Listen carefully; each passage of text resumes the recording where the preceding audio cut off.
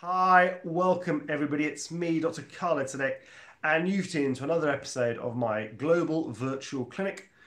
If you don't know me already, I specialize in the removal of cysts and lipomas and have dedicated my YouTube channel in educating people on these two skin complaints.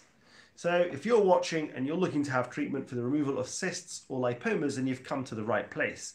You can find more information on my website, lipomacyst.com. Alternatively, you can visit drkhaledsadek.com. Let's clean that camera. It's a little bit grubby. Don't know why. There we go. So, part of today involves the global live chat. So, we take a, a discussion on medical conditions from all over the world. But we also like to discuss some of the videos that we've released uh, in the last couple of days and also uh, videos that we're going to be releasing in the next clip. So, for those of you who haven't seen it already, we did a twin cyst excision in the last clip where we had two sebaceous cysts, really stubborn cysts with really, really deep and thickened sacs were present in two locations, and we did those on one clip. And before that, we had a couple of other epidermoid cysts located in different parts of the body, some on the shoulder, some on the breast tissue. And the next clip, I have an absolute cracking video for you. Let me just show you by putting on uh, what we've got is this really large, and I mean quite large epidermoid cyst right on the shoulder blade. Now, if you're on Instagram and Facebook, you would have seen the thumbnail for this coming clip. So if you haven't seen it, then you could check out uh, those two social media platforms. Remember, always encourage people to bring their questions to today's global virtual clinic, which we run every Wednesday, Friday, and Sunday. That's the same time. That's 1.30 Eastern Time, 4.30 Pacific Time, or 9.30 Greenwich Mean Time. So let's see who we've got in the house. We've got a fantastic turnout today. We've got over 100 people watching. So let's see who we've got and let's go through our podium position holdout. Also, let me know what you think about the new format. We're scheduling it in advance so you can see, you can log on, you can see when it's happening. Um, so that's really good. Also, some more fantastic news. We've been verified. We've got the grey tick from YouTube verifying that our YouTube channel is authentic by giving us a verified blue tick. So thank you everybody for supporting us. We've had a bumper month. We've had well over 6 million views in the last six in the last 28 days. So thank you so much for that. Remember to spread the word. We need to keep growing as much as we can, educating people on skin complaints. So let's have a look. Let's see who's in the house. Let's bring this camera a bit closer to me so I can see you all a little bit better. Let's scroll up to the very top. Now, for those familiar, the, the format, we say hello to the top three, the first three attendees. You get podium positions. Let's start in at number three. In that third position, Deborah Ronker. She's in uh, in at number three. Now, Deborah is in California.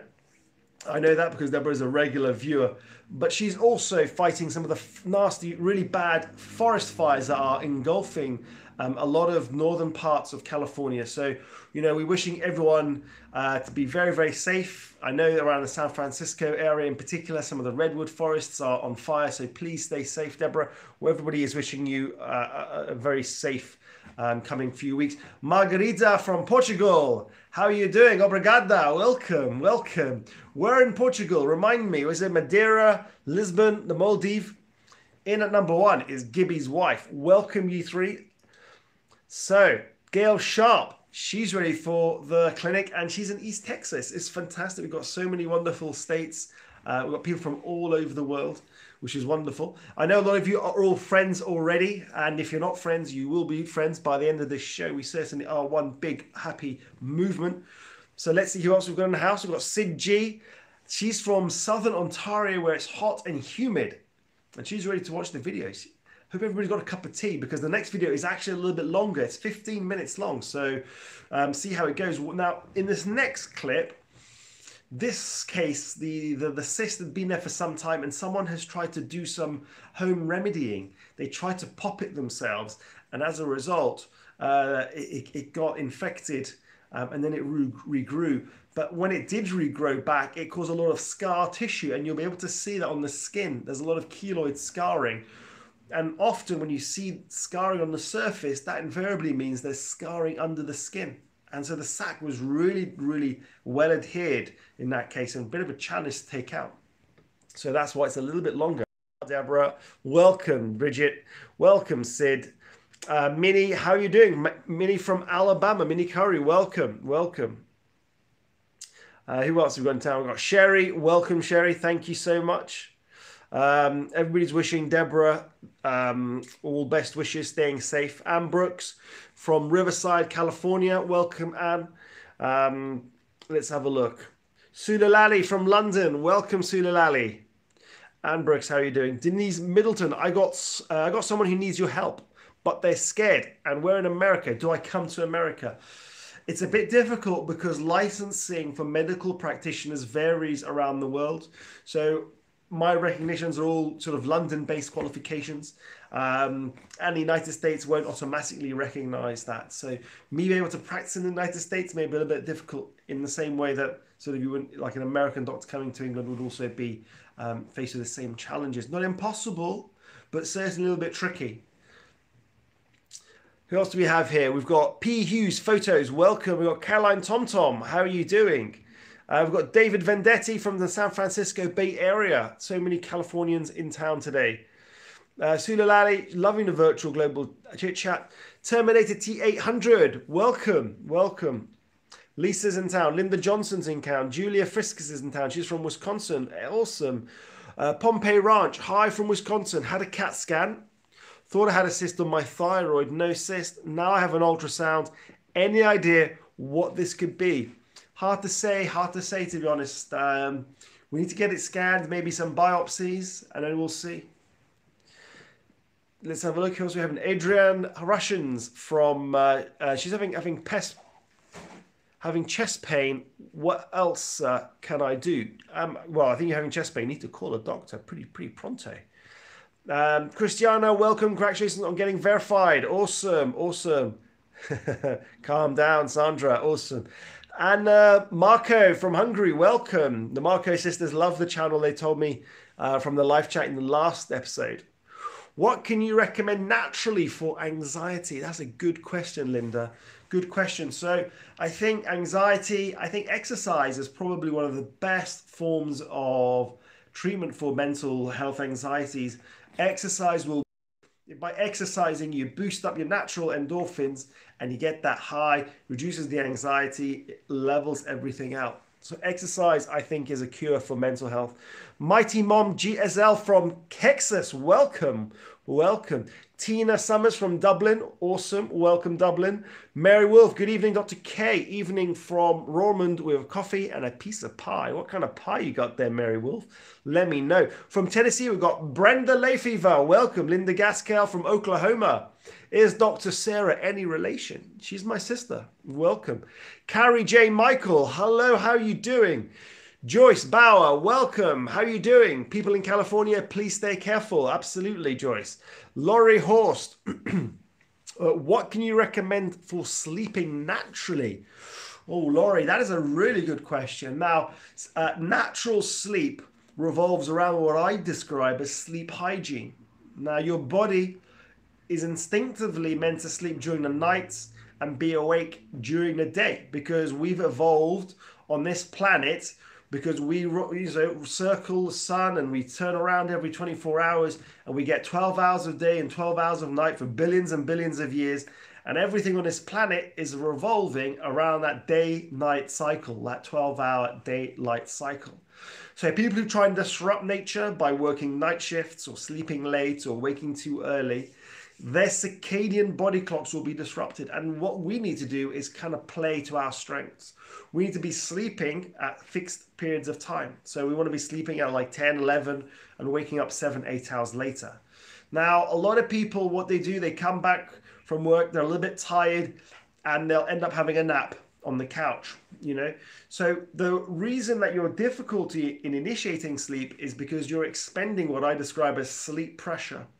That pressure that's going to drive you to sleep. But if you're sleeping during the day, then you're going to use some of that pressure. And when you need it most to sleep at night, you're going to struggle. And therefore, you're going to struggle initiating sleep. Having said that, the body is in tune with certain natural instincts, certain stimuli that it picks up to let it know whether it's time to wake up or time to sleep. So, for instance, if it's too hot, your body will be like, can't can't go to sleep, can't go to sleep.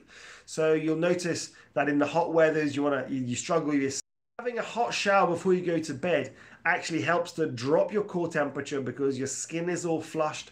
You dis, you're disseminating heat, and that can help initiate sleep. One of the other important natural stimuli is light at night. There's a lot of light pollution in the environment, especially if we live in the big cities or if you have light at home. So making sure that you have absolute darkness when you go to sleep because the eyes will detect the light and tell the brain that it's not quite nighttime that you should be awake. So you've got to be careful that your eyes, because inside your eye there's a retina and it's got special wiring that goes to a part of the brain called the suprachiasmatic nucleus. That is the grandfather clock of your internal sleep clock. So having light at night will disrupt that. So make sure you don't have your iPhone or your iPad or your laptop late at night because that's you know fuddling up everything. And then obviously, if it's really loud and noisy, you're not going to get a sleep. So make sure it's dark, make sure the temperature's good, make sure the sound is nice and quiet. Having said that, there's also a lot of things that we consume that can disrupt your sleep. Number one is caffeine, number two is alcohol, number three is food. So people forget that caffeine can last in the blood for over 24 hours and that its half life, that means the number of hours it needs for it to go down by 50% is six hours. So if you're having a, a you know an espresso at three o'clock in the afternoon, by three o'clock in the morning, you've still got a quarter of that espresso still in your bloodstream. And that means like sort of waking up at three in the morning, having a little bit of sip of your Starbucks and then hoping you're going to get back to sleep. It's not going to happen. So I say caffeine consumption needs to be not drunk before, I mean, after 1 p.m. Don't drink any more caffeine.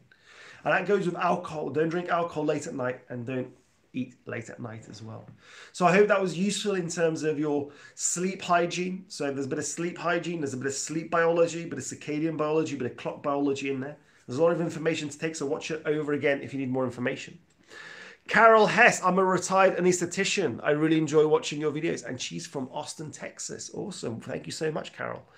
Alma Richardson, stay safe, everybody. Hugs and prayers, everybody in California. Marion from Heavy Rain in Scotland. Ooh, it's probably heading its way down to London as we speak. It's Claire B, greetings from Michigan. Margaret Brace, good health, happiness, and safety to everybody. Princess. Kathy Fusco from Las Vegas. I have a question for you. Uh, why do us viewers get so addicted and mesmerized by these videos?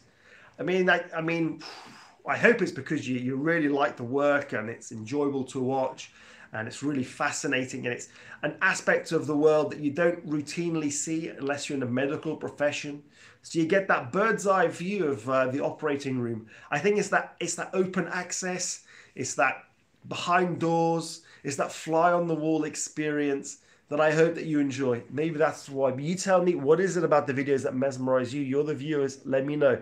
Mimi Newell, welcome. Prince of Zam is an elephant and castle. Whoa, stay safe. Rhonda Burke, during my last live, uh, my husband, uncle passed away. Oh, I'm really sorry to hear that. Condolences of you and the family. The very next day, my aunt passed away of cancer. Then the day after, my cousin passed. Then two friends passed. I'm glad to be back. Welcome, Rhonda Burke. Great to have you on board. Stay strong. Um, let's have a look. Who else we got here? We've got Kalista Achukuku. Welcome, Kalista. How are you doing? How are you doing? Let's have a look. Who else have? Vicky, welcome from uh, Oklahoma. Welcome, welcome. Joyce Bauer, how are you doing? Annie Reid from Melbourne in Australia. Whoa, what time is it in Australia? Uh, let's have a look. Who else we got here? It's my birthday today. That's Daniela Hesselman. So everybody wish Daniela a happy birthday. Circadian Clock, Khaleesi Shireen, welcome. Paul Whitson from California, River Fire in Salinas, just a few miles away. I hope you're staying safe. Let's have a look. Um, Siji, tell her to watch the Dreams episode 13 with you and Dr. Pixie. Yeah, absolutely. So I covered a lot of sleep biology in my video clip with Dr. Um, Pixie McKenna, who's you know, a, a, television show presenter in the United Kingdom. Um, they did embarrassing bodies. So I did a, a, podcast with Dr. Pixie on sleep biology. So if you if you if you Google that on YouTube, you'll be able to find it. So uh, Kathy says she's loving the videos, and uh, she's also curious as to why you're addicted. I think we need to help her and find out why. Jay Corwin from Cape Town, welcome, welcome. And my sleep is dreadful. I can't sleep more than three hours. You know what? It's very, very common that sleep is an integral part of mental health. We know that if you don't sleep, you don't function as well the next day. You know, your memory isn't isn't, isn't so good, your decision making isn't so good, and that you're slow in your production. Because part of sleeping helps to re uh, store all the information that you've gained the previous day into the different right filing cabinets in the brain. But if you get the disrupted sleep, then it doesn't quite work. And we know that if you have chronic disrupted sleep, that might impact your mood and mental function. So there is a, a cat and uh, chicken and egg, shall we say, that we know that sleep um, symptoms are associated with mental health. So we know that if you're depressed, you get early morning wakenings or you have altered sleep patterns. But we also know if you disrupt sleep, you can then develop mental illnesses. So sleep and mental health go hand in hand. Let's have a look. Who else we got in here? Who do we have here? My friends go home and eat breakfast. I don't usually. I eat around four. You know the times.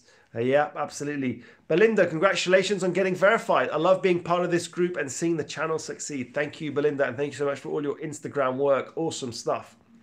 Uh, let's have a look. Dr. Kate's voice keeps bringing me back. Welcome, welcome, welcome.